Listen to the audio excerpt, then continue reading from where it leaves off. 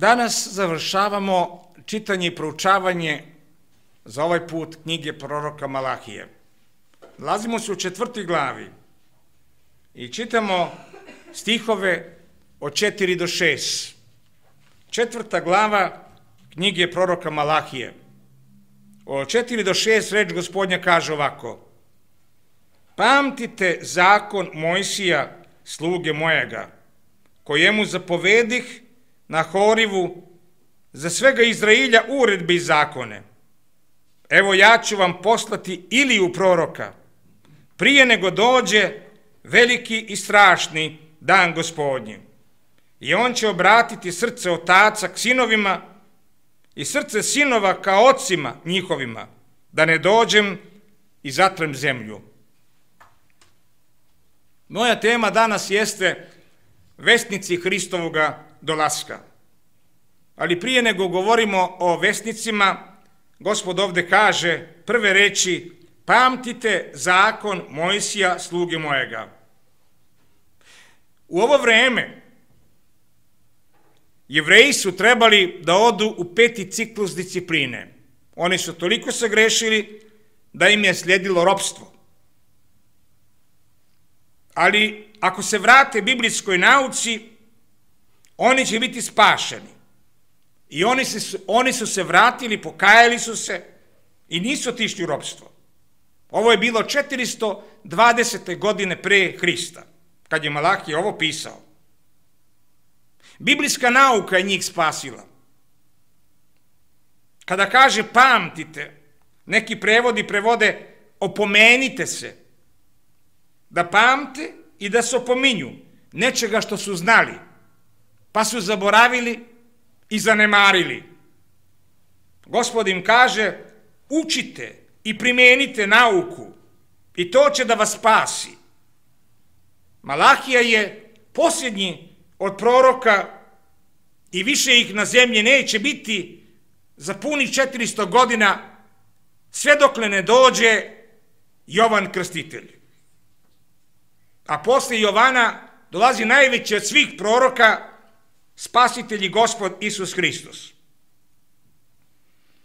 Najveći u starom zavetu prorok bio je Mojsije, a u novom zavetu je gospod Isus. I sada kaže Malakija narodu, pamtite zakon Mojsija, sluge mojega, jer nećete više imati proroka za 400 godina. To im nije rekao, ali to je tako. To je istorija potvrdila. Ali će imati biblijsku nauku starog zaveta. Naučite zakon Mojsija, primenite ga. Jevreji su bili u egipatsko ropstvo 400 godina. U ropstvu egipatskom oni nisu imali pisano sveto pismo. Ali imali su, imali su nauku biblijsku. Imali su nauku biblijsku koja je prenošena usmeno. Tako isto od Jovana, od Malahije do Jovana Krstitelja, isto razdoblje 400 godina. Ali ovde su imali pisanu nauku od Boga, stari zavet. Prorok je onaj koji donosi svežu reč od Boga za datu situaciju. A da li je moguće da, da budemo bez proroka? Odgovor je da. Bez proroka možemo da budemo samo na jedan način. A to je da učimo biblijsku nauku. U egipatskom ropstvu oni nisu imali pisanu reč. Imali su nauku, ali ne u pisanoj formi. Mi znamo da su imali nauku, jer to piše, Bog je rekao Avramu u prvoj Mojsijevoj 13. glava 15 do 18, da će njegovo seme biti u ropstvu egipatskom 400 godina i da će i poslije toga Bog pohoditi i izbaviti. I to je rečeno Avramu i to se prenosilo usmeno u narodu jevrejskom. Tako isto, Josif, koji je bio u Egiptu, kad je umro, Prva Mojsija 50. glava 24 do 26, on je rekao narodu, i vi ćete posle 400 godina izaći, ali ne zaboravite da uzmete moje kosti da iznesete iz Egipta. Dakle, oni su imali usmeno reč gospodnju koje je Bog govori Avramu.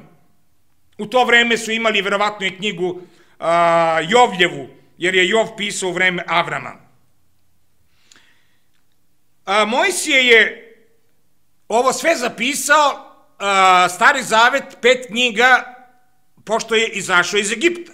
Tako da oni nisu imali pisanu reč gospodnju prije Mojsija, odnosno samo izuzev Jova. I ove su reči prenošene što je Avramu rečeno i što je Josif njima kazao u narodu usmeno. I prvi prorok kojeg je Bog poslao narodu jevrejskom posle 400 godina bio je Mojsije. A između Malahije i Jovana nije bilo proroka. Ali jevreji su imali nauku koja se ovde zove zakon Mojsija. Ovako se zove Stari Zavet. Stari Zavet se zove zakon Mojsija. Zašto? Zašto? Zato što su prvi pet knjiga, Stari Zavet je pisan u rolnama. Prvi pet knjiga su bile prve na redu koje je napisao Mojsije, prvi pet Mojsijevih knjiga i prema prvim knjigama ceo Stari Zavet se zvao zakon Mojsija.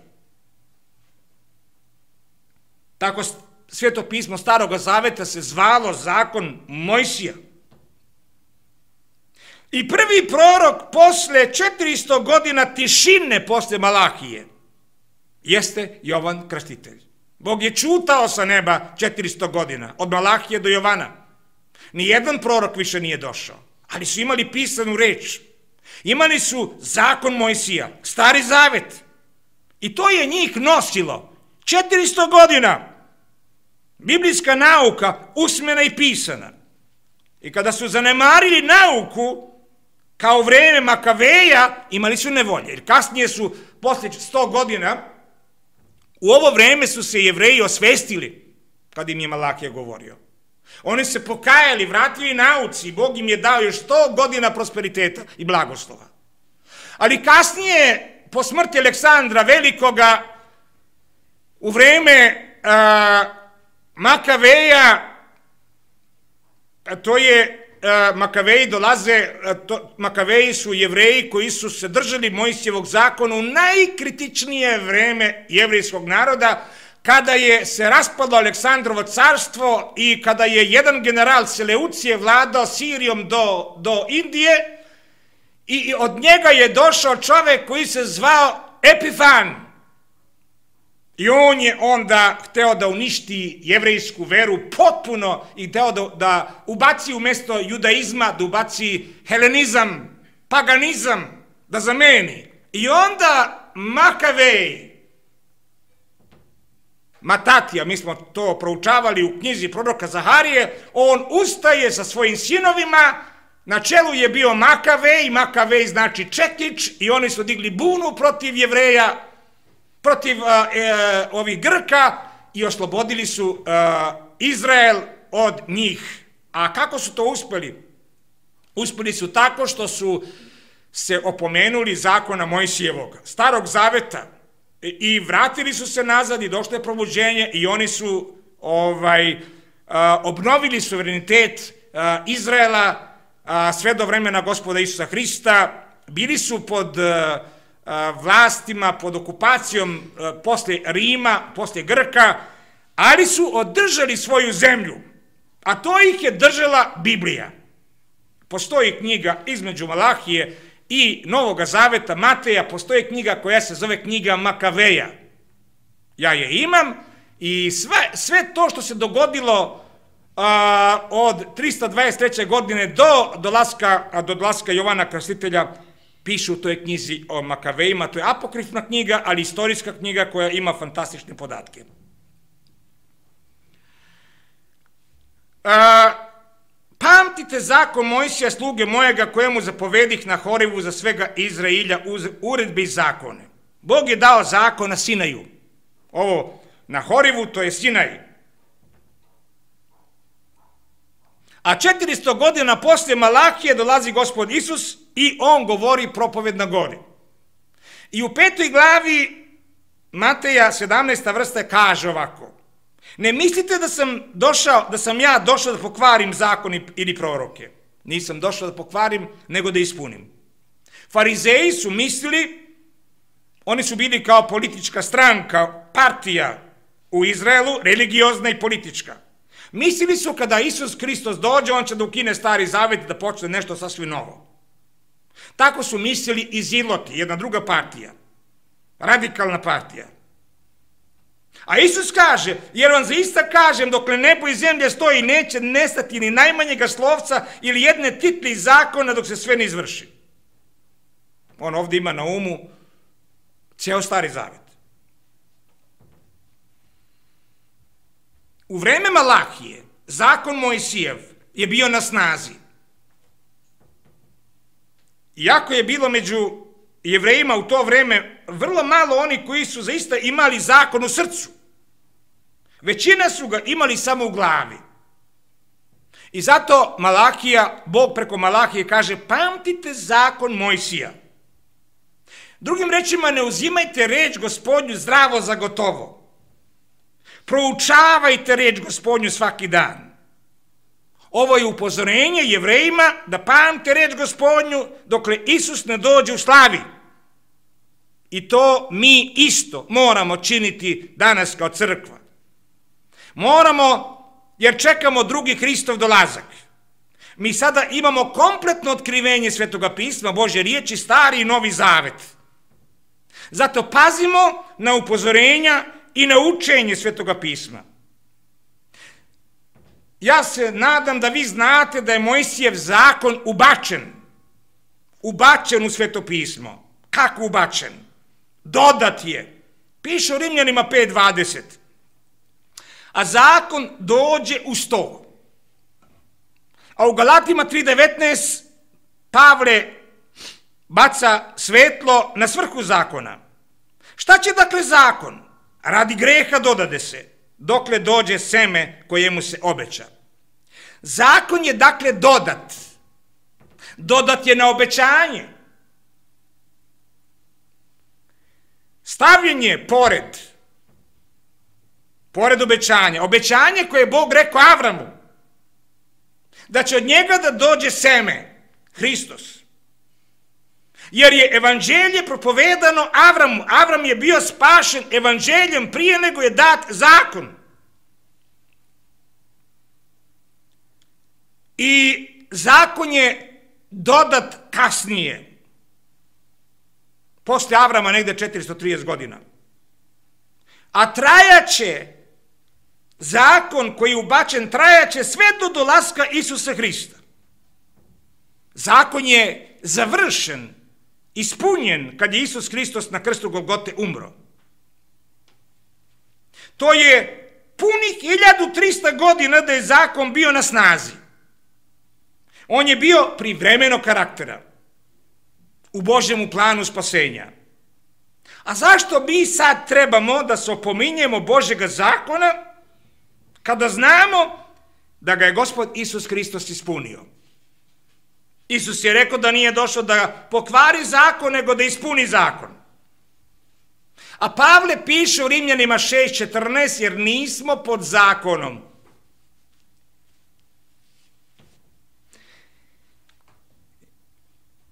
Još kažu Galatima 3.25, a kad dođe vera, novi zavet, to je vera, već nismo pod čuvarom, pod zakonom. I još kaže u Galatima 5.18, Ako li vas duh vodi, sveti duh vodi, niste pod zakonom. Nažalost, mnogi hrišćani nemaju pojma šta se sve podrazumeva pod zakon. Zakon ima tri dela. To nikad nemoj zaboravimo. Dat je 1300 godina pre Hrista. I ova tri dela jesu prvo deset zapovesti, drugo civilni zakon koji je dat kako da narod funkcioniše kao nacija i treće, ceremonijalni zakon kako da pristupaju i da slave Boga. I na ova tri dela Mojsijevog zakona Malahija misli kada piše Pamtite zakon Mojsija sluge mojega kojemu zapovedih na Horivu, na Sinaju, za svega Izrailja uredbe i zakone, uredbe su deset zapovesti, zakoni su civilni i ceremonijalni zakoni. Dakle, tri dela su uredbe i zakoni. Mnogi hrišćani ne shvataju odnos zakona i evanđelja. Mnogi ne shvataju. Oni pogrešno misle da mi sada, ako nismo pod zakonom, možemo da radimo šta hoćemo. To se zove u teologiji antinomijanizam. Antinomijanizam znači protiv zakona.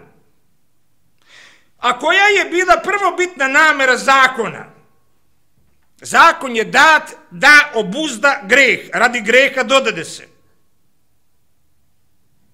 Narod je od straha kazne zakona obuzdavan da ne učini greh. Od straha od kazne, jer zakon ima svoje sankcije. Zakon je otkrivao greh, ono što Bogu nije bilo ugodno. Zakon je pokazivao kakvu pravdu Bog zahteva od ljudi. Standard je isti, da li mi živeli pod zakoni ili hodali u duhu. Takođe smo videli da je zakon privremenog karaktera i naše svoje potpuno ispunjenje u Hristu, u njegovom savršenom životu i zamjeničkoj smrti na krstu Golgote. I ako mi želimo da živimo pod zakon kojega je Isus ispunio, pretvorit će nas to u legaliste. Legaliste, oni koji pokušavaju da zarade nešto kroz zakon od Boga i da sami sebe spasu kroz zakon. A to je opasna stvar kada neko sebe stavi pod zakon. Ali ako živimo po duhu, mi ne samo da ćemo pokazati vanjsku pravdu koju zakon zahteva, već i unutarnju pravdu kao što su ljubav, radost, mir, vera. Ovo su rodovi svetoga duha, a to zakon nikad ne može da proizvede. To proizvodi evanđelje. Ako živimo po duhu, nismo pod zakonom, ali paradoksalno je mi ga indirektno ispunjavamo zakon kad živimo po duhu. Ko pokušava da živi pod zakon, ništa neće uspeti. A ko živi po duhu, ima vanjsku i unutarnju pravdu. Rodove duha što ne može zakon da proizvede. Ko živi pod zakon, ne zaboravite, nikad nema sigurno spasenja. Pitajte ljude koji žive pod zakon, koji naglašavaju zakon, da li imaju sigurno spasenja. Nemaju. Zašto? Pa zato što zakon traži savršenstvo. A oni vide da nemaju savršenstvo. I stalno kaže, ako budemo izdržali do kraja, ako budemo sve ispunili, onda ćemo možda doći u nebo. I to je strašna, to je taj legalizam. To je strašna stvar. Oni pokušavaju da zarade život večni, kojega je Hristos za nas zaradio na krstu i daje nam ga zabadava. I još nešto. Kad je neko pod zakon, on pada u introspekciju. Introspekcija znači on stalno zaviruje unutra svoje srce da vidi ima li greha, a naći će ga koliko hoće. Još nešto. Pada u očaj kada to otkrije, a ne vidi svoje savršenstvo i spasenje u Hristu. I drugo, čovek koji je pod zakon postaje farizej. Legalista postaje farizej. On vara sebe i druge. On je samo po vanjštini e, dobar, ali u srcu je pokvaren.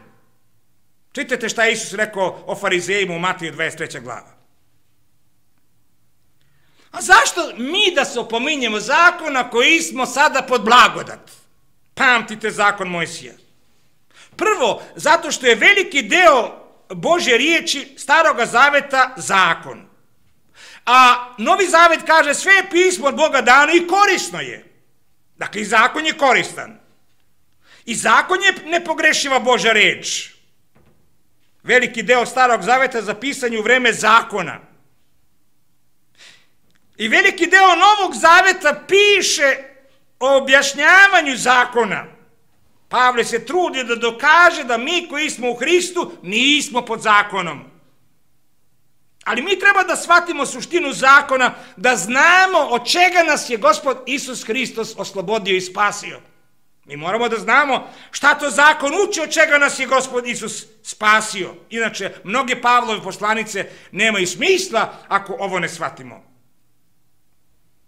Iako nismo pod zakonom, Pavle piše, znamo da je zakon dobar, ako ga ko drži kako treba, 1. Timotiju 1.8, ako ga ko koristi kao što treba. Dakle, zakon ima svoju pravilnu upotrebu. Zakon pokazuje greh, zakon dade se da se svaka usta za, za, zapuši i da ceo svet bude kriv pred Bogom. Zato je dat zakon. Da ljudi shvate da su grešnici, a ne da se kroz zakon spasu. Da traže spasenje kroz Hrista. Pravda zakonska je nepromenljiva. Sve što je zabranjeno pod zakonom jednako, ali i, i više zabranjeno je pod evanđeljem. Onaj koji uzverova evanđelje i hoda po duhu, on indirektno ispunjava zakon, pa mo, možda nikad nije ni čuo, niti zna da recituje deset Božih zapovesti. A živi po duhu, on ispunjava zakon indirektno.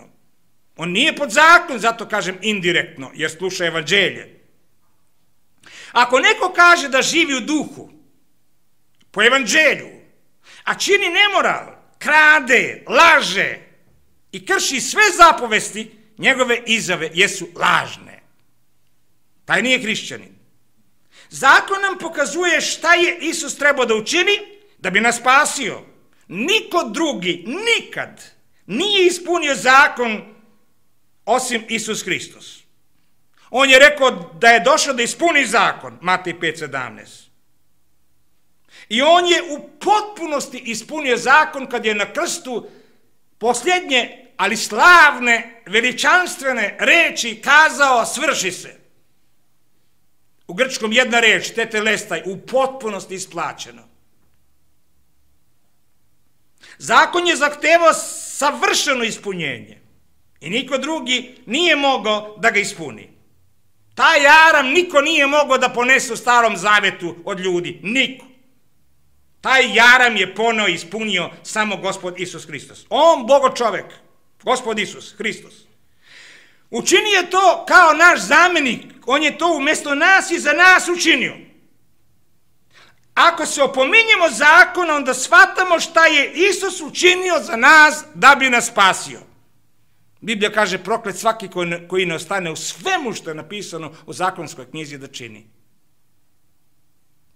Proklet svaki koji a, ne ostane u svemu što je zapisano u knjizi zakonskoj da čini. Od rođenja do groba u svemu savršeno, bez greške, ako ne izvršava, proklet je.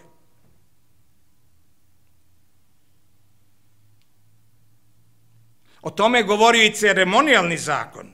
Sve žrtve koje su ljudi prinašali verom u starom zavetu jesu slika Hristove smrti za prekršeni zakon.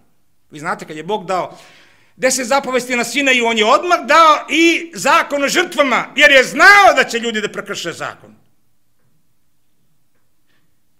Zato su ljudi prinašali žrtve verom, verovali su u Hrista koji dolazi, koji će ih spasiti od prokletstva zakona.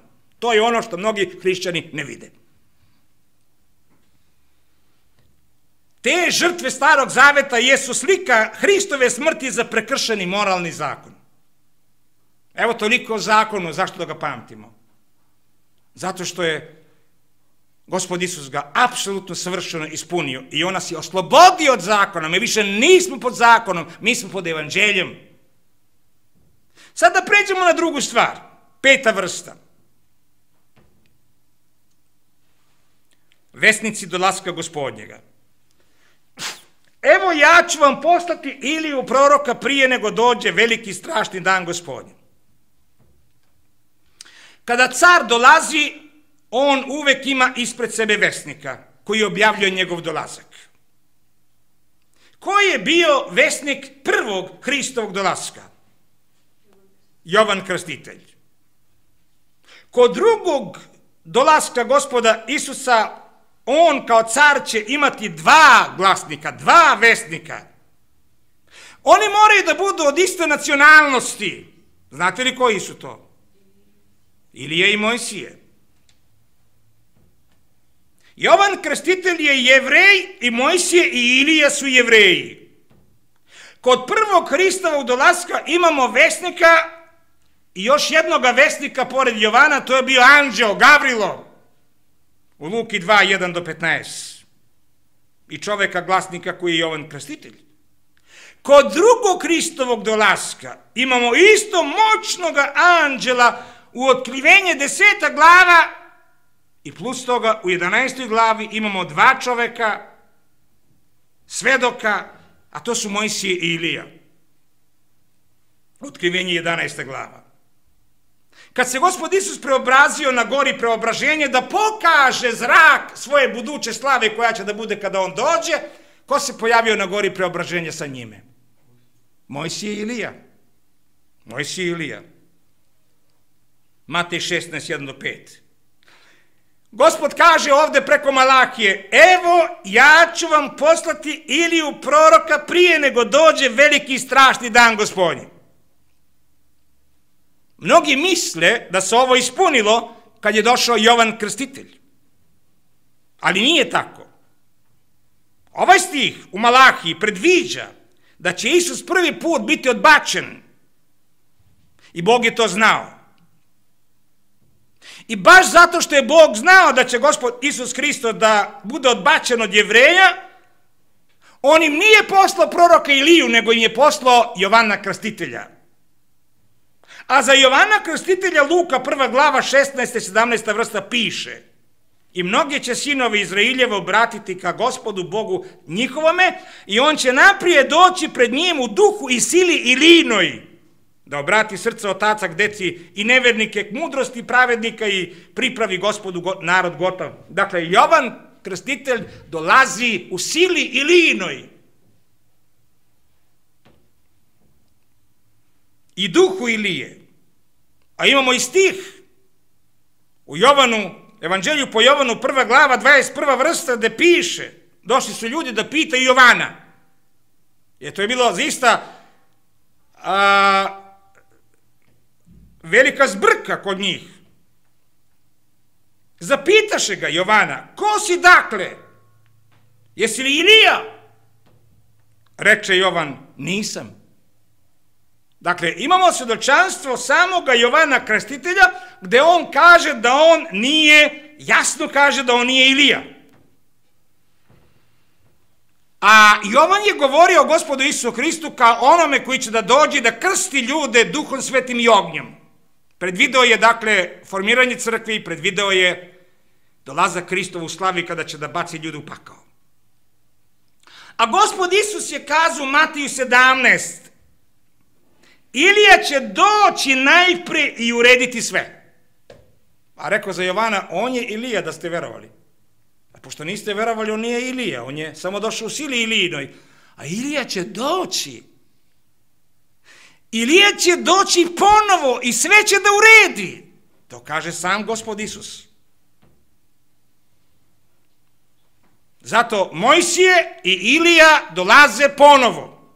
Evo ja ću vam poslati Iliju proroka prije nego dođe veliki strašni dan gospodnji. Veliki strašni dan gospodnji. Trebamo da znamo ove termine u Bibliji da bismo razumeli kad čitamo Bibliju. Dan gospodnji traje 1007 godina. Sedam godina velikih nevolja se zove dan gospodnji i milenijum se zove dan gospodnji. Druga polovina velikih nevolja zove se strašni dan gospodnji. Milenijum se zove slavni dan gospodnji. I kad ovo imamo na umu, mi ćemo razumeti kad naiđemo na tekstove o čemu Biblija govori.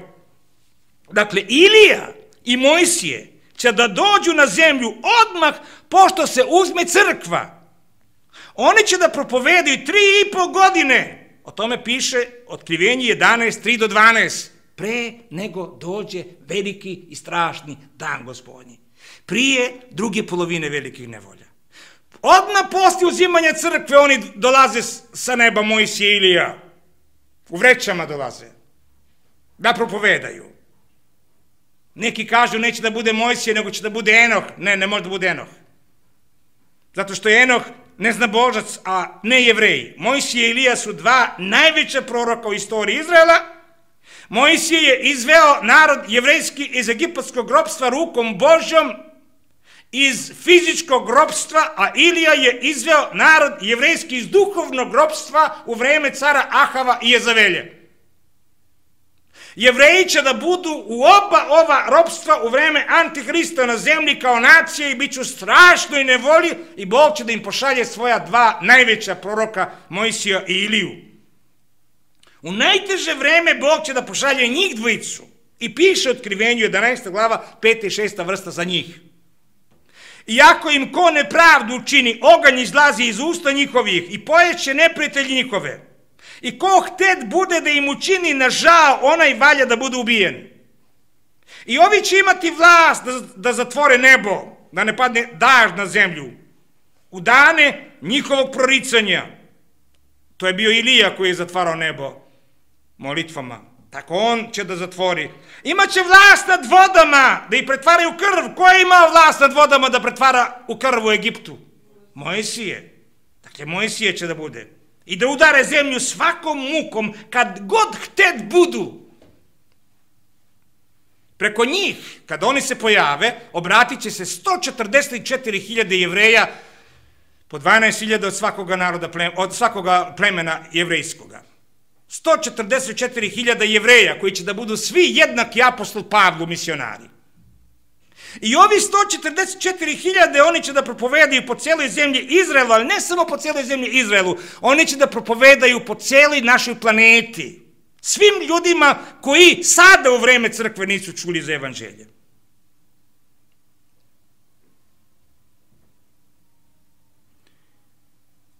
Ovi dvojica će udariti zemlju vatrom i vodom i drugim nevoljama, kao nekada što su činili. Otkrivenju 11.3 piše, 7 piše. I kad svrše svedočanstvo svoje, pazite, kad svrše svedočanstvo svoje, ne pre, ne posle, kad svrše svedočanstvo svoje, kad završe svoju propoved, onda će zvije što izlazi iz bezdana učiniti s njima rat i pobedit će ih i ubiće ih. Antihrist će da ih ubije, da zaratuje sa njima samo kad završe svedočanstvo. Dakle, dok ne završi svedočanstvo, oni su ne, ne, besmrtni. Isto smo i mi. I njihova tela će Antihrist da stavi na sred ulice Jerusalema. Na sred ulice.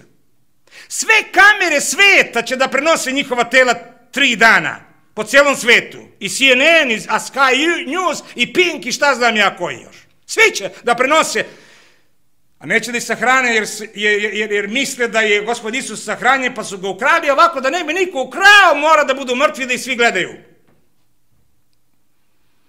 I narodi će da se raduju zato što su ubijeni ova dvojica. I šali, slaće poklone jedan drugome od radosti. Ali avaj, kako je iznenađenje posle tri dana. Slušajte šta piše.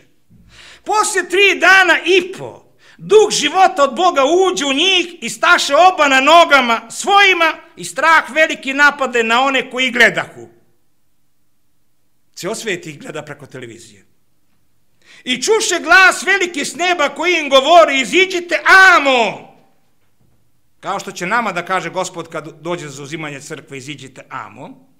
I iziđaše na nebo na oblacima i videše ih neprijatelje njihovi. Videše ih. Ovo će sve da bude priprema za dolaza gospoda Isusa Hrista u slavi. I onda se dešava probuđenje prije Hristovog dolaska u slavi. Evo ja ću poslati Iliju proroka prije nego dođe veliki i strašni dan gospodnji.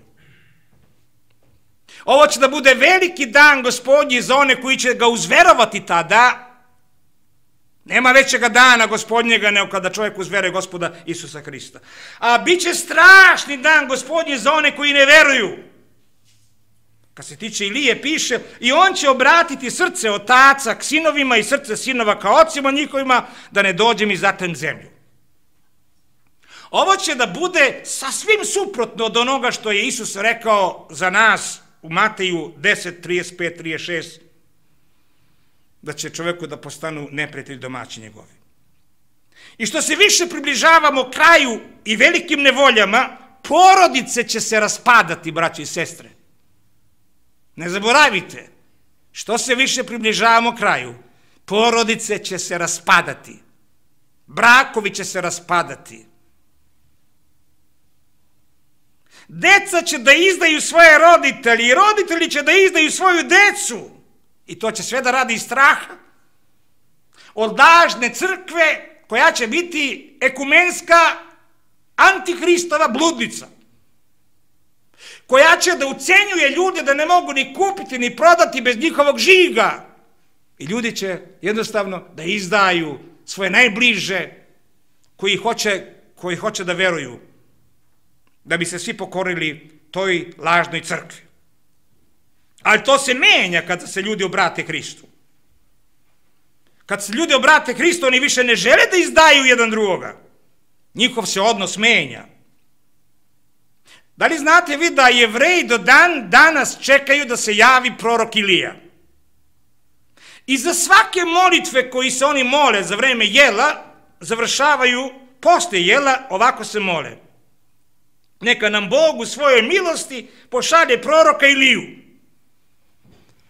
A za vreme paske stavlja se stolica prazna oko stola i čaša ispred te stolice puni se vinom za proroka Iliju, a jedno dete odlazi na vrata od sobe i otvara vrata da bi prorok Ilija mogao da uđe unutra. To do danas praktikuju jevreji.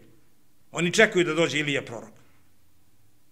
Kad se javio Jovan Krstitelj, on nije ostavio tako veliki uticaj na familijarni život u Izraelu. Jeste ostavio, ali ne toliko veliki kao što će dostavi da prorok Ilija i Mojsije. Preko Mojsija i Ilije će se mnogi obratiti i pomiriti. Porodice će se izmiriti. Obraćenja donose promenu. Danas mnoge porodice više ne funkcionišu. Deca i roditelji više ne komuniciraju. Ovo je najveće zlo i zaraza društva. I ako se ovo ne promeni, doći će strašno zlo na naše zemlje. Promena ili uništenje. Da ne dođem i zatrem zemlju, kaže gospod. A Bakotić prevodi, da ne dođem i prokledstvom svojim zemlju ne zatrem. Prokledstvo je nešto što se mora uništiti. Ljudi, stvari, sve. Vi znate kad je Bog prokleo Jerihon, on je prokleo i ljude, i grad, i stvari, rekao je sve je prokleto, ništa ne dirajte. I stoka je bila prokleta, sve da se spali. Nevjernici koji ne uzveruju u Hrista bit će prokleti kada Isus dođe i bačeni u oganj večni. Piše u Bibliji, Korinčanima na kraju kaže proklet čovek koji ne veruje, koji ne ljubi gospoda Isusa Hrista. Biće bačeni u oganj večni. Oni će biti prokleti jer su odbacili svedočanstvo Mojsije i Ilije i svedočanstvo 144.000 jevreja koji će biti misionari. Posljednja reč, dakle u starom zavetu, posljednja reč u starom zavetu jeste prokletstvo.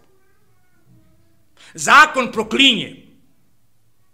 Bog je prokleo Hananeje jer im više nije bilo leka. U Jerikonu je spašena samo jedna prostitutka. Zvala se Rava i njen dom, njena porodica. Jer su uzverovali gospoda Isusa Hrista. Da bi čovek izbegao prokletstvo, može samo kroz krst Hristovi krv njegovu. Jer piše Galatima 3.13, Hristos nas je iskupio od kletve zakonske, postaviši za nas kletva, jer je pisano proklet svaki koji visi na drvetu.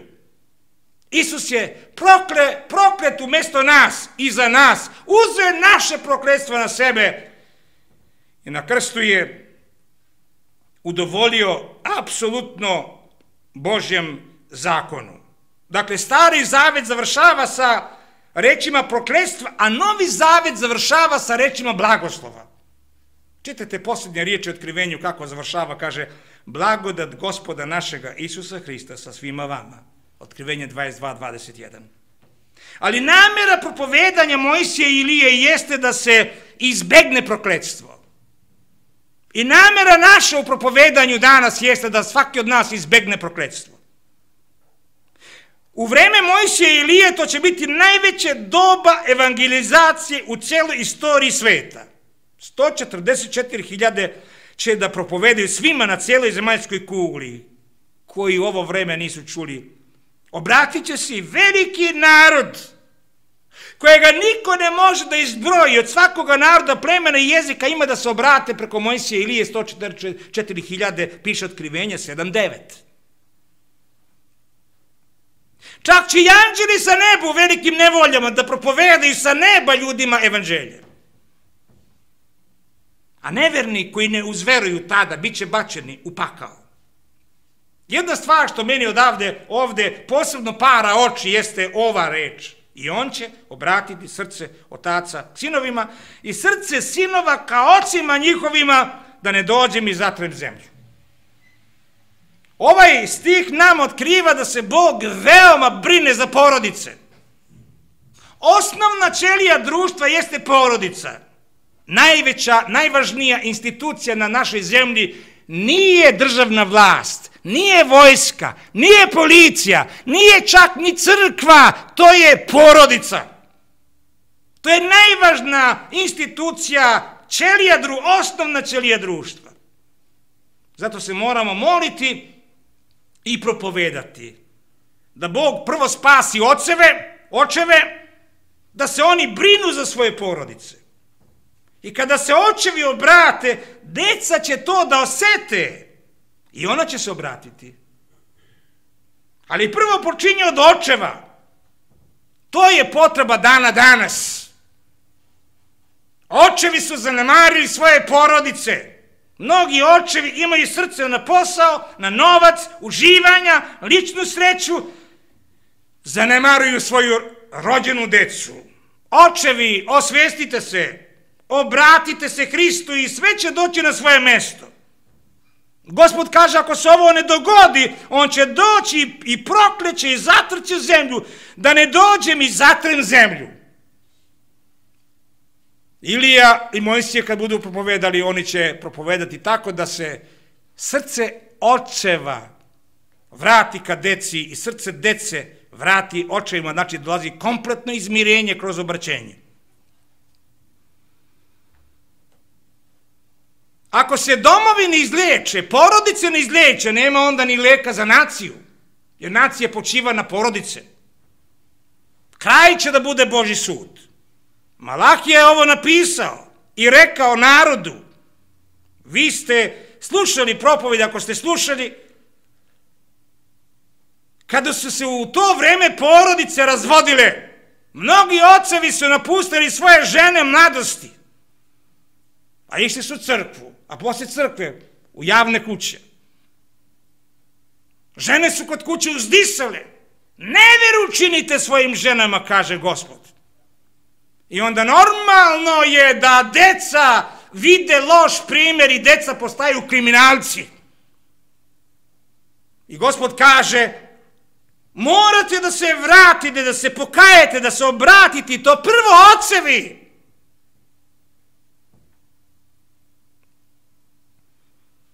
Malakiju je Bog poslao da ih upozori. I on ih je upozorio. I oni su zverovali, pokajali se, I imali su još 100 godina fantastičnog ekonomskog i duhovnog prosperiteta sve do 323. godine do smrti Aleksandra Velikog. I tada se javljaju Makaveji koji ponovo obnavljaju suverenitet Izraela. U samom početku ove knjige Bog kaže ljubim vas. A videli smo i znamo da nas Bog ljubi samo preko krsta. Samo kroz Hrista mi izbjegavamo prokrećstvo i doživljavamo lično iscelenje kao i porodično iscelenje. Bez Hrista nema ljubavi Božje. Ljubav Božja se nalazi u Hristu. Bog je toliko ljubio sve da je dao svog sina, da ni jedan koji ga veruje ne pogine, nego da ima život večni. Samo kad verujemo Hrista mi primamo ljubav Božja, drugačije nema ljubavi Božje za nevernike. Samo u Hristu. Ako vi odbacujete Hrista, nema Bože ljubavi, ostaje gnev, ali Bog kaže ljubim vas. A završava knjigu, počinje knjigu, ljubim vas, a završava pro, prokreću zemlju. Zašto? Pa zato što ste odbili moju ljubav. Zašto? Zato što niste primili Hrista, zato što se niste pokajali, zato što ne živite po nauci. kada se porodice iscele, time se čuvana i nacija. Mi živimo, braći i sestre, pred sam Hristov dolazak. Pazimo na nauku. Ona, ona nas spasava od svake zabude. Pazite zakon Mojsije, pamtite, danas bi kazao drugačije, pamtite nauku Svetoga pisma, starog i novog zaveta. Imajte Hrista na prvom mestu pred očima. On je naša zvezda danica, on je naše sunce pravde. I na njegovim zracima jeste duhovno i moralno zdravlje. Bog neće prokleti nikoga ko veruje Hrista. Verujemo gospoda Isusa Hrista, približimo se Bogu. Hrišćanstvo nije religija, hrišćanstvo je osoba, gospod Isus Hristos. Neka mu je hvala i slava od sad i uvek. Amen.